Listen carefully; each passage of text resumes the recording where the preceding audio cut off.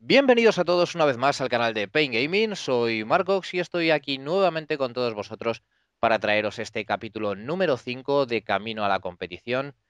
En esta ocasión acompañado del señor Apocalipsis. Muy buenas, Apo, ¿qué tal todo? Muy buenas. Pues hoy un poco de resaca entre las elecciones y que ayer un amigo inauguró un piso y ya, ya se sabe las inauguraciones, empiezas a ver el Barça, una cerveza, otra y acabas de fiesta y borracho perdido.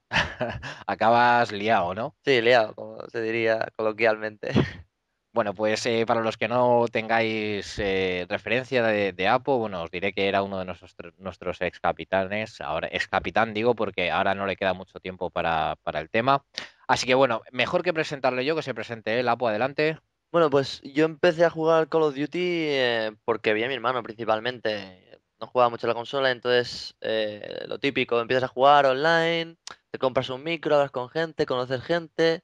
Y empecé Sí. jugando más con un chico que también era de aquí de, de Barcelona y alrededores, que se llamaba Geace. Bueno, también lo habéis conocido, un H del RPD, que es uruguayo y por tema de trabajo también se ha tenido que ir a su país.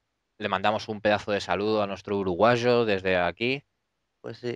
Y bueno, eh, empezamos a jugar en Social Hispano, si no recuerdo mal, en una página web cuyo nombre no, no, lo- no logro recordar. Y allí fue con- donde coincidimos con Pain y donde al final, bueno, acabé- acabamos todos juntos. Sí, la verdad es que ahí es donde te recuerdo yo que coincidimos contigo y con Geace. Que Geace iba siempre sin el micro, además, hasta en los retos ahí, Sí, sí, sí. los cojones. Yo siempre, bueno, tú siempre, oye, tío, ponte el, ponte el micro, pero como mataba a todo el mundo, digo, bueno, pues ya está, yo sé que me está cubriendo, ¿sabes? Me oye, me oye. Sí, sí, sí. Pues sí, aparte lo recuerdo porque fu- fue a raíz de esos retos que comentas que, que rápido se habló en el equipo de decir, oye, a Davexodus, que era la cuenta que Sí, la utilizabas por primera aquel, cuenta, sí, sí. por aquel entonces, y a Geace hay que, hay que traérselos para acá, ¿eh? Y al final me acuerdo que empezamos a hablar contigo, Gun y yo, y, sí, cierto. Y al tirar de ti, y al final ahí lo conseguimos. Sí, sí. Y el primer reto que jugamos, me acuerdo que fue contra Lobos Grises, que estaba Torrevieja, Templar, que Templar luego acabó con nosotros, lo que pasa que ahora tampoco juega. El galleta y Sí, demás, ¿no? sí. Bueno, y que Kowar, que también está con nosotros ahora. Ahí está, ahí está, como ya también hemos comentado. que tenía mucha fama en Resistance y, y demás. Eran los amos del Resistance, además. Sí, sí. Pues nada, pues me gustaría comentar también un poquito contigo, bueno, pues eh, ya, ya comentamos en el capítulo anterior el, el tema del final de, de Call of Duty 4, más o menos las estrategias con, con Odín y demás, eh, pero un poquito así por encima, a ver qué recuerdas tú de aquella época, los finales ah, y el comienzo del, del, del World at War, ese Bueno, pedazo de juego. Pedazo, entre comillas. Bueno, Sí, por eh, supuesto, lo de Call of digo. Duty 4 recuerdo que, al- bueno, me acuerdo que, que por tema de, de trabajo, uno al final no pudo llevar algunas de las páginas y tuve que llevar yo torneos online durante un tiempo y ganamos el torneo en el que nos regalaron las entradas para, para la campus. Cierto, Entonces, cierto. Coméntanos, coméntanos de la sí, sí, campus. sí. Por disponibilidad también un poco, pues al final acabamos yendo yo, Geace, Gaditanillo, Peluki y Sobrehumano también vino. Aunque solo era 4 contra 4, que, o sea, Peluki acabó jugando el torneo. Sí, sí, Que sí. recuerdo que allí coincidimos con CLN, por ejemplo, y claro, es la primera LAN así, por así decirlo, que, que- que en la que competimos. Además de verdad. Te entra ahí el, el gusanillo de competir, eh, te, te hacen subir al escenario cuando ganas el torneo, hostia, esto, Cuenta- eh, cuéntame un poco mola. cómo fue la, la experiencia de la Campus Party, el jugar allí con tanta gente delante, porque eso sí que es jugar con gente allí delante, ¿eh? Sí, sí, sí, además fue en Xbox, cuando habíamos jugado siempre en Play 3 y ninguno de nosotros tenía la Xbox. Hmm, Eh, recuerdo allí, claro, online siempre hay los, los típicos pi- piques entre clanes, CLN, sí. ¿sabes? No te llevas muy bien, pero Lo hay- normal, vaya. Luego mucho colegueo, o sea, realmente cuando te conoces y es lo que también eh, mola de, de este, de este mundo, ¿no? Que, que hay buen rollo y conoces a mucha gente y al fin y al cabo todo el mundo lo que, lo que quiere es pasárselo bien, obviamente ganar, pero Sí, que aunque, aunque a través de, de internet, o sea, a través de- del ordenador o de la PS3 pueda haber mal rollo, creo que a lo que te refieres es que luego te conoces en persona y todo cambia, ¿no? Sí, sí, sí, y además a todo el mundo le gusta lo mismo, son las mismas aficiones, puedes hablar y no te van a mirar como un friki, por así decirlo. Vaya. Pero, eh, lo- o sea, que lo disfrutasteis, ¿no? Sí, sí, sí. Fue una experiencia buena y además ganamos, eh, fue el primer premio así en, en dinero. Ujú. Estuvo muy bien, muy bien. Además, fue una semana con, con una conexión brutal. De lujo. Y teníamos, bueno, por aquel entonces, no sé si fue en el 2008, teníamos un giga o algo así. Sí, sí, heavy. Muy bien, muy bien, muy bien. Y pasando, pasando ahora un poquito para tocar un poco los temas también eh, del, del, World at War, eh, ¿qué recuerdas tú del World at War? Porque Bueno. yo me llevé una, un pedazo de chasco con ese juego, venir del COD 4 y encontrarme, encontrarme con eso, pff, Bueno, bueno, tú y todos, o sea, dentro de- del clan ya no caló. Creo que solo jugamos unos cuantos y, y al principio, y a modo general. De hecho, en Europa ni, no- ni se jugaba. Lo descartaron porque el tema competitivo era todo el mundo MP40, Titán y, y para adelante. Sí, sí, y para adelante. Y no, no le gustó a nadie. Creo que ganamos tres torneos y creo que por aquel entonces en torneos online hubo un cambio de administradores, por lo que solo competimos en campeonatos online. Y allí ganamos el, el- el de Navidades, que era como el inaugura- de, de inauguración del juego, Sí, y luego un par más, uno táctico por equipos también. Pero bueno, cierto. eh, no se hicieron muchos más torneos. Creo que se hicieron lo 4 o que- 5 y todo el mundo volvió al Call of Duty 4 otra vez.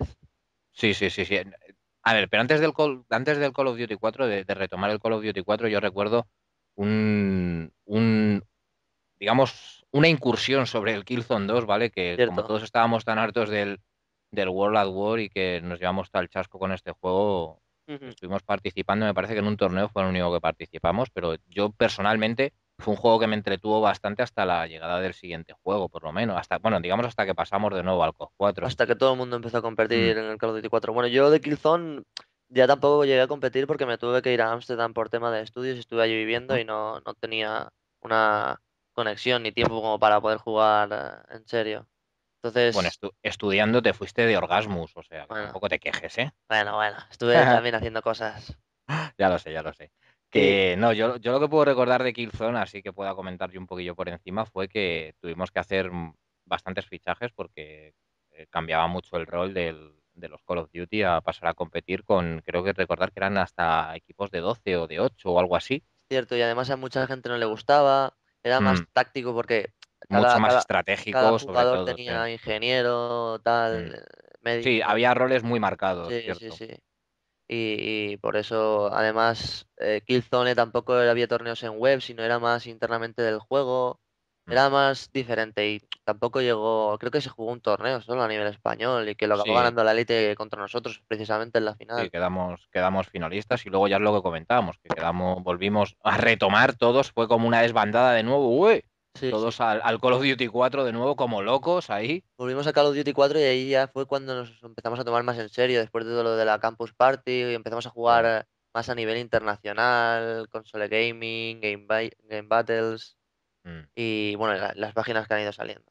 Sí, que fue un punto de partida hacia, como- digamos, nuevas, nuevos horizontes, digamos. Es que como Call of Duty 4 eh, para mí no ha habido ningún juego.